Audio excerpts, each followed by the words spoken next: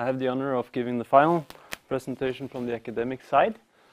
And I was brought into this program on last minute. I was I was received a call on Monday where I was asked kindly, and then I was say, you know, I'm honored to receive that call to replace my colleague Stine Haakonsson, who had fell ill and couldn't be here today.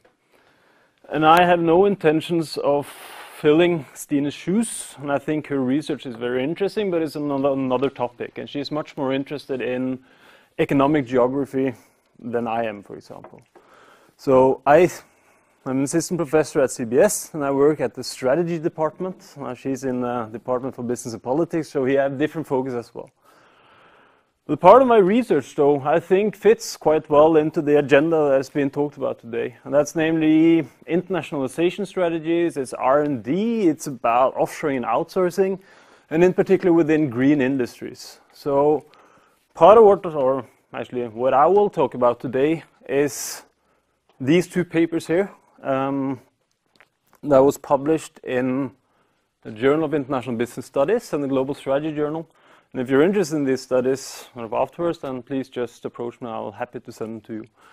I did these papers with my colleagues Snehal Awate from Indian School of Business and Ram Mudambi from Temple University. And what we do in these papers is to think a little bit more about emerging market multinational corporations. And in particular, if you've seen within academia, there's been this growing interest in both the concept of emerging markets, so, you know, Emerging markets are out there, they are big, they mean something for our business in general, but also in particular for emerging market multinationals, the multinationals coming out of these emerging markets. And basically what we want to do in these two papers, sort of through a case study on the anecdotal side of the research evidence which is out there, is to take an established firm from the West and then a new firm, sort of a latecomer firm from the emerging market, and see how these two firms compare in terms of how they approach R&D internationalization. And what I'll show you is that while they do actually differ quite a lot, and the reasons we will provide sort of suggest that there are more to the fact that they just look different or they're just catching up quite quickly.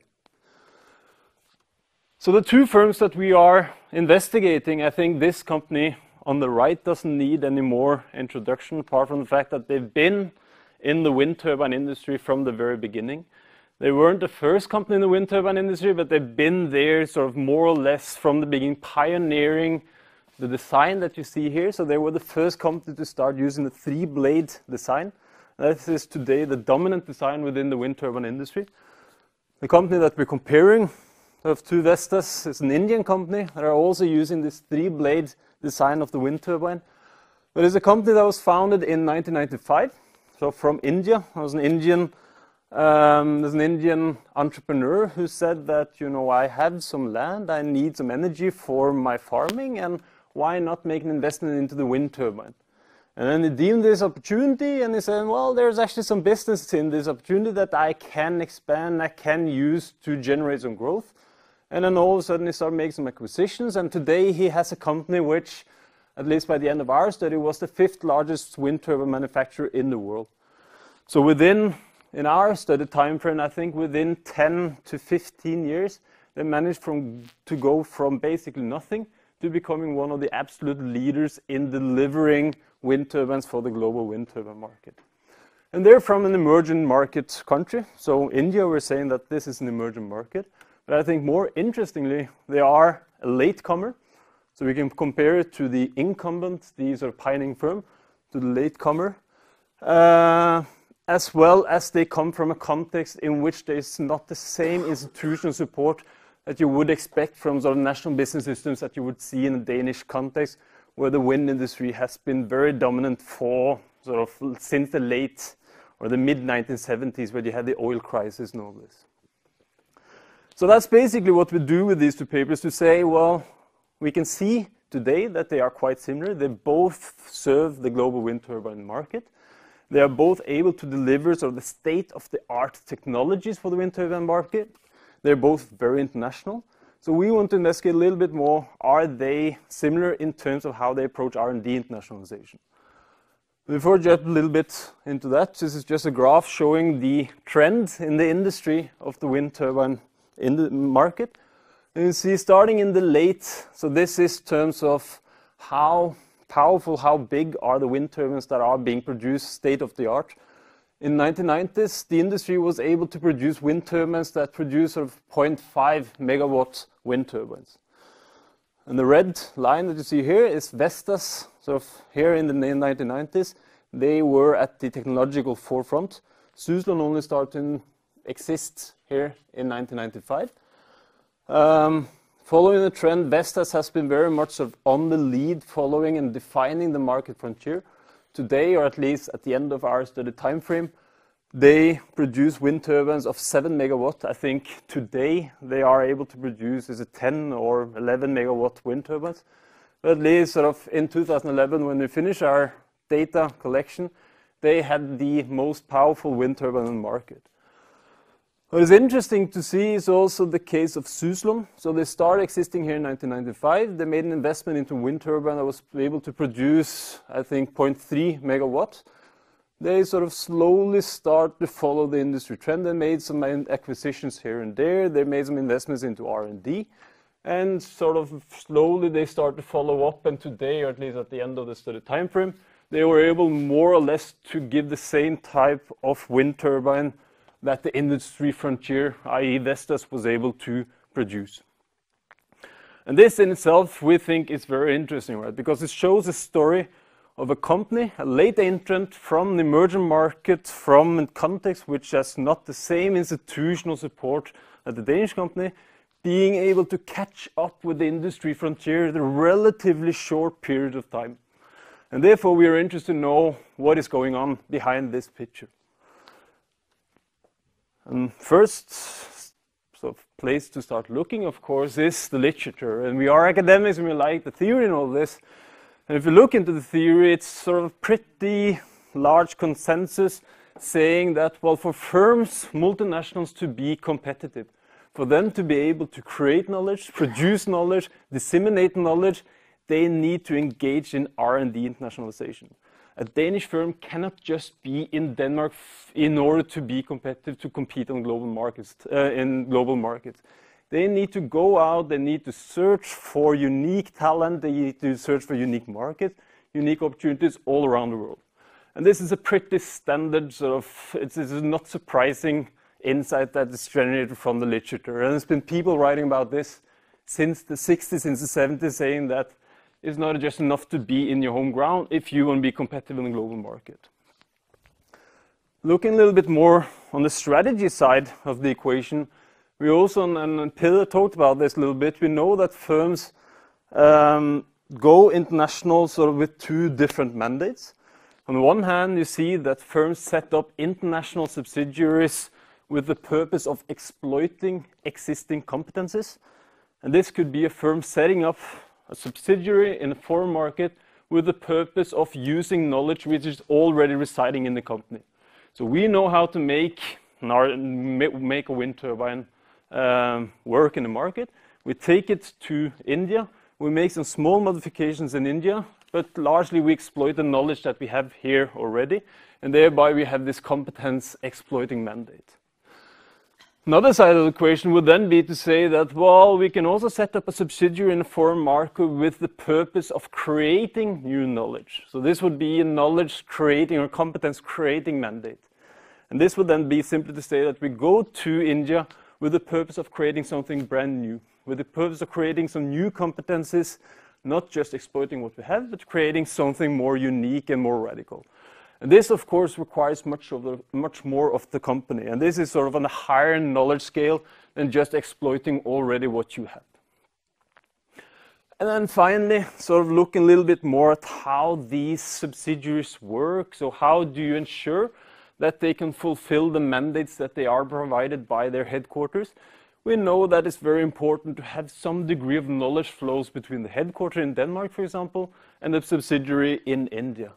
And this is then crucial for the subsidiary to receive the instructions, to receive sort of the adequate knowledge that they need to catch up with whatever the headquarters wants them to do and thereby it tells us something about how they are able, what type of obstacles may occur for them to be able to do whatever they want to do. and this is all sort of based on the assumption, not the assumption as such, but it's very much theorizing based on our Western ideas of how these firms are operating. Or at least empirically, we've been looking at firms from triad regions, right? So in US, Western Europe, and all this, in terms of developing this theory that you have here. And at the same time, we've seen that you have this rise of emerging market firms, and the theory or the literature, the journals in general, have been started asking questions saying that these firms from multinational or from emerging companies, are they doing sort of the same thing as these theories predict? Are the things by these firms from emerging markets driving us to questions the, question the assumptions underlying the insights that we get from our literature, our theory on R&D internationalization? And if so, what should we do with our theories? So that's basically then what we do with this paper, diving a little bit more into the way that they are internationalizing, the type of mandates that are being set up, and in particular the knowledge flows that flows between the subsidiaries and the uh, headquarter of the companies. If you look at the trajectory of internationalization, R&D internationalization in Vestas, you can say that up until 2000, R&D in Vestas was officially non-existing. They had an engineering department where they did all of their research and development, but any official R&D was non-existing in Vestas. Around 2003, 2004, they started to make this a little bit more official. So they set up an own sort of technology and R&D department in the company, and they started to expand internationally. So they came to the recognition that just being in Denmark is not enough for us to be able to be a market leader within this industry, which was a set goal for the company. So in 2007, actually, they set up an R&D back office in Chennai, in India, and I'll get back to this one on the next slide. 2008, they set up some energy supply R&D in Singapore. They have some aerodynamics facilities in Isle of Wight in the UK, have electricity in Houston, US, and also in 2010, they set up some high-budget engineering R&D in Beijing in China. And I think the sort of expertise or the focus of these different type of Um, R&D subsidiaries that they have internationalized over the period that we have studied here is not surprising. So if you look at aerodynamics, for example, Isle of Wight is an island with a lot of wind, and there's a lot of expertise in how you develop blades in this location. And thereby, by going into the R&D expertise in the Isle of Wight, Vestas was able to tap into competences already present in this location. Same if you look into China. I mean, there are a lot of good, talented engineers, software engineers in India, in Chennai, so they set up an R&D back office there to access cheap but talented R&D sort of engineers that they could use in this location. And electricity in Houston, there's a huge energy cluster in Houston, and therefore they set up this expertise in Houston with the purpose of tapping into the innovation systems in these locations. This is just a little map. So we talked about offshoring and outsourcing, which is also the purpose of, of this, this session here today. And, and I must admit that this is perhaps a little outdated, but it shows sort of the span of the internationalization of Vestas technology R&D. So of course they have the large hub here in Denmark with partnerships within Aarhus, in Aalborg, uh, in Risø, out by Roskilde. Uh, they have in the UK they have a lot of partnerships, so this is a subsidiary itself. They also have a lot of sort of outsourced partnerships with universities, with research institutions. Same goes with the subsidiary that they have in India in Chennai. So they have a very sort of established collaboration with the Indian Institute of Technology in Madras and so forth. So It just shows the expansion of the internationalization of Vestas in both emerging and developed economies. And then finally, sort of on the Vestas side, we sort of know that they set up this subsidiary in India back in 2007. And it was set up as a back office for research and development. There was a lot of patent filing, there was a lot of patent application. It's a lot of more mundane, not that complex task that was assigned to the locations here in Chennai. Very quickly, though, however, uh, the management of the Danish management of the subsidiary started recognizing that, well, the people that we have here in India are actually better than just being allocated to deal with some type of simple patent application processing, for example. And in particular, they recognized quite soon that, well, within aeromechanical structure design, our engineers or our engine engineers have quite a lot of expertise that we can use not only in India, but that we can use globally. So they went from being sort of a back office in 2007 to, go, to get the recognition of being a center of excellence within the global Vestas R&D structure. And sort of talking to some of the people in Denmark about why did you choose India, China, and saying that part of why we located an R&D center in India or any other place in the world is that we investigate what key competences we need, and then we find out what the competences that certain countries can offer. And sort of just to highlight that this is a dynamic process, they came with the purpose of saying that, well, good cheap engineers in India, let's go for that. But at, as they got there, they recognized that these are better than originally expected, and thereby they got more and more responsibility. So they went from this competence uh, exploiting mandate to more competence creating mandate as time elapsed.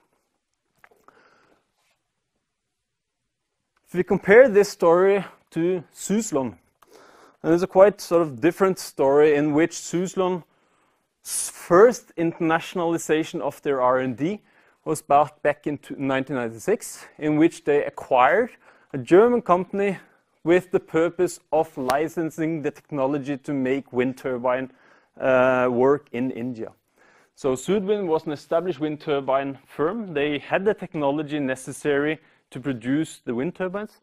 And then sort of the um, his name, I cannot remember the name of the engineers, but at least the entrepreneur of Suzlon came to the recognition that, well, if he buys a license of this German company, he would be able to start producing wind turbines in India. And this was a success.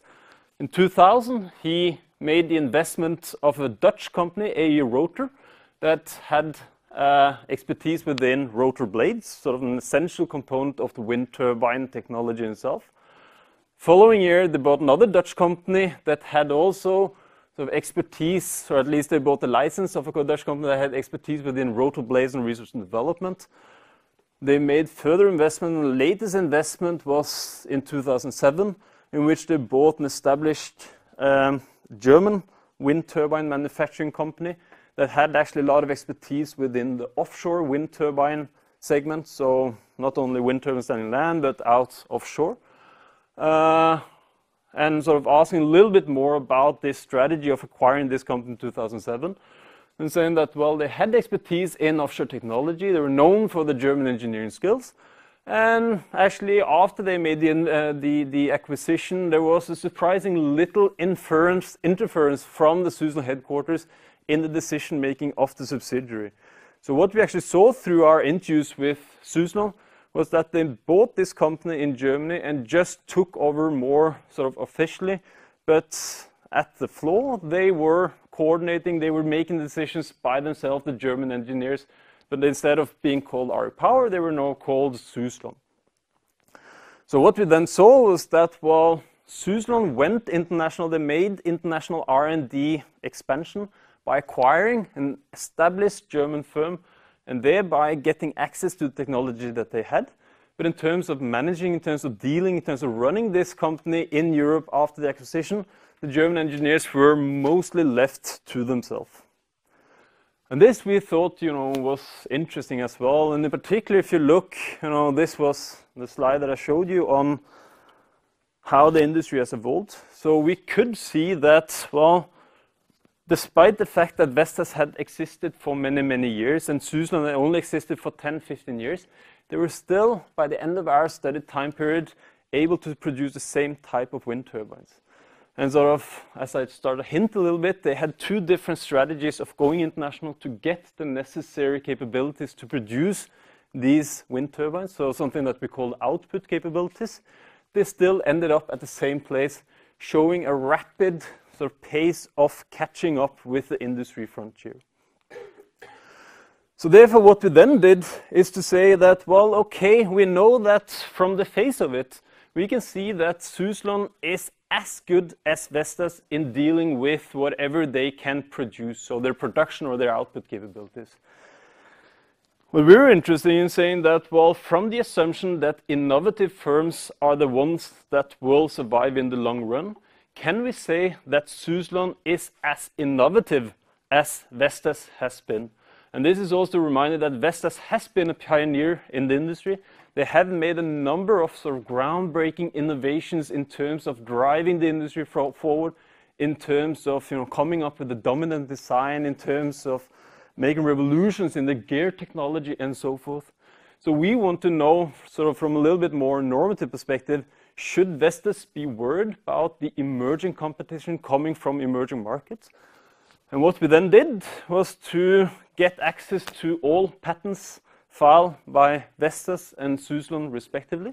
So we download all the patents and we start to look a little bit at the evolution of the sort of knowledge networks taken out of the patents that we can see, and I'll sort of, it's a little complex this picture, but, but basically what we did is to take each and every patent that the two companies have got granted in our study time period.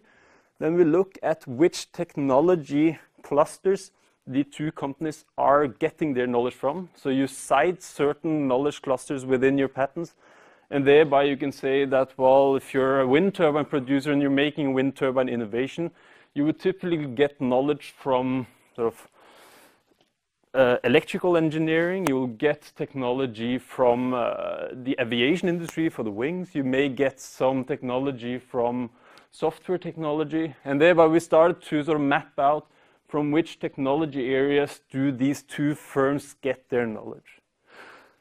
And the results of these two sort of network analysis that we did of the technology classes that they cite in their patents is as follows. If you look at Suzlon, starting in 2002, they had none patents whatsoever. The first patents they started filing was in 2004. And the dots that you see here are the different technology classes. And I don't know right now which technology classes these are. But this purpose is just to show the evolution. 2006, they had a little bit more sort of knowledge classes that they cite in their patents. I think the total number of patents that they file in this period is, is around 30, 40 or something. I cannot really remember. I have the data. Uh, but we see that still, you know, although they are filing more and more patents in this study time periods, it's a very shallow network. It's a very sort of narrow and shallow network in which it's not a lot of patenting going back and forth. There's not a lot of expansion into areas which are both sort of non-core as well as core to the technology which is being produced. Especially if you compare this to the case of Vestas. So Vestas started sort of filing their first patents also here in 2002. And again, to remind you that they didn't have an official R&D department before 2004, I think it was. So these were the first patents that they filed, and you can say there's, there's quite a lot of comparison between this network that we see here and the network that we see there. But what we see, though, with the network expanding over time is that it unfolds dramatically. And not only does it unfold dramatically in terms of the depth of the networks, there's a lot of citations back and forth between different uh, classes of technology that they need for their um, that they need to, to, acquire in terms of producing these uh, wind turbines. But what is also interesting is that they are citing technologies that had sort of no intuitive connection to the production of wind turbines as such. Uh, and I'm trying to think about an example right here now, um, which I cannot really do. But, but so the general takeaway is that they are citing substantially more technologies in their patents than the case of Suzlon. Uh, and not only are they citing core technologies for the production of wind turbines, but they're also citing non-core technologies classes which should have no sort of apparent use for the relevant technology that they are trying to develop. And from this, we are trying to say that, well, Suzlon shows evidence of knowing what they need to know in order to produce the wind turbines that they are going to produce. And this is evident by this here, that they're citing the most relevant technology classes for them to be able to produce whatever they want to produce. But if you compare this to Vestas, they are certainly knowing what they need to know in order to produce the technology that they are going to produce. but they also know a heck of a lot of other things that they don't really need to know for them to be able to produce the knowledge that they need to get in order to produce the wind turbines. So we see that they know a lot of things that they have really no particular use for right here and right now. Another thing that we did, also looking at the patents of these two companies, is to try to see a little bit more on the flows of knowledge that goes between the headquarter, so respectively in Denmark and, uh, and in India, in, uh, right outside Mumbai, for Vestas and Suzlon respectively, and the subsidiaries that they set up all around the world. And so to our surprise, or maybe not so much to our surprise, but to our sort of revealment is saying that, well, to take the case of Vestas, so this is advanced market headquarter, they have a relatively sort of high level of knowledge, so they know a lot the knowledge that's being cited within the patents filed by the different subsidiaries around the world draw very much on the knowledge coming from the headquarter. So we could see that the knowledge produced at the headquarter in Denmark, in Aarhus, is being sourced down to the subsidiaries which are operating around the world very much. And basically what this says is that the knowledge level of the headquarter of the Danish multinational, the advanced market multinational, is typically at a higher level in the initial phases than the subsidiaries that they set up. And this is also to show the case of Suzlon or of, of, of Vestas in Chennai. So they set up the subsidiary in Chennai, you know, so assuming that they would only do R&D uh, support functions initially. So they were at a lower knowledge level. They got the knowledge from the headquarter.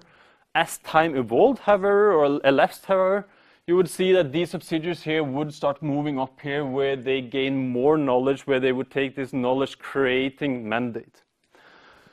In terms of the emerging market headquarter, so Suzlon in our context, we see that, well, predominantly the headquarter is at much lower knowledge levels than the subsidiaries that they have international. So this would be Suzlon in India, not really knowing how to make a wind turbine themselves, going out to Europe, acquiring existing wind turbine manufacturing firms that have a lot of knowledge of how to produce these wind turbines. And thereby we see that, well, the knowledge flows that we saw here going from the headquarters to the subsidiaries is actually reversed in the case of the emerging markets. So the, here you see that they acquire subsidiaries with more knowledge than the headquarters, and the knowledge flows therefore goes from the subsidiaries down to the headquarters. And so why do we think this is interesting? Well, we think it's interesting because it shows something about relationships between the headquarters and the subsidiaries in the two different type of firms respectively. And in particular, if you think a little bit about negotiation, about bargaining, about potential problems, I would say that it's relatively easier for the headquarter, Vestas, the multinational, to control the subsidiaries because they have more knowledge than the subsidiaries do Uh, at the time sort of, of initiation. In contrast, we see with emerging market firms that their subsidiaries have much more knowledge, they know much more about how to make the wind turbines than do the headquarters.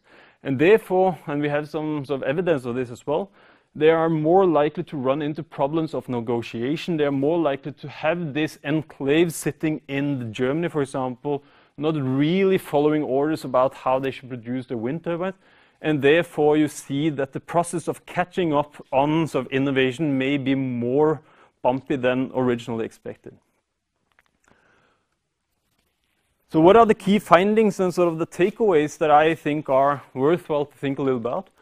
Well, I think that it's interesting to know that these late entrant emerging market multinational firms are indeed catching up. They are making it much more difficult for firms in, say, Europe, in the advanced markets to compete simply because they can sort of they can leapfrog, leapfrog the technological evolution required for them to produce technology they can just simply go out and buy some existing firms and thereby be able to produce the same type of technologies that the incumbent firms are able to produce. And that is what we saw here. But we also see that there's more to the picture than the eye can see in the sense that while the emerging market firms' knowledge base tends to be narrower, it tends to be more shallow as compared to the innovative firms from, emerge, from advanced markets. uh, we see that the catch-up phase, so we hear a lot about these firms really catching up quickly, occurs in terms of their output capabilities. But when we look at their ability to innovate, we are saying that this is going on much slower and much more sort of complex pace than the output capabilities. And also we see that the headquarter innovation catch-up is harder and slower as compared to the uh, headquarter catching up of the R&D subsidiary of the advanced market. So sort of summa summarum, what we're seeing though is that the emerging market late entrant firms have less developed innovation capabilities. And if you're building on the assumption that for you to be competitive in the global market space, you need to be innovative, we're basically saying that, well, Danish firms shouldn't worry too much right now, at least, because they are more innovative. They know much more about how to make the technologies. And although competition is coming from emerging markets, they should sort of not take it too grave right now. And that's sort of the, maybe not provocative, but reassuring sort of takeaway. Sort of strategic slash policy implications. Um, I believe that the incumbent firms, so firms operating in Denmark, investing in emerging market, for example, I believe that their competitive edge rests on their ability to exploit innovation capabilities rather than output capabilities. And this is what we saw the basic differentiator between Vestas and Suzlon, namely that they have a lot of knowledge that they sort of are in possession of, and this is knowledge on what you need to have in order for, for you to make the technology, but also knowledge that you don't really need to make. So basically knowing more than you make is key to continued success for these type of companies that we are studying. And so you could turn it around as well, saying that, well, for emerging market firms to be successful in the global competitive market, they need to invest in innovation capabilities. They need to go out and not only source technologies that are absolutely necessary for you to source to develop your technology, but you need to go out and sort of seek more broadly all type of different knowledge that may or may not be relevant for your production. Um, and then final point sort of relating to the specific workshop that we have here today. Of course, it's important for these firms, you know, be it Danish firms or Indian firms, uh, to access knowledge clusters all around, so outsource offshore R&D functions. Uh, but I believe sort of, there's another research stream that I have going on right now actually. Uh, I believe that this global or geographical dispersion of knowledge-intensive activities puts immense pressure on the ability of the firm to integrate this knowledge into a sort of coherent systemic whole. And it's not enough to just say that, well, let's move something to India and then we access cheap but talented engineers in India, but we also need to have sort of specified coordination mechanisms in place, ensuring that we can get access to that knowledge despite the vast geographical differences between these two locations. So on that note, I thank you very much.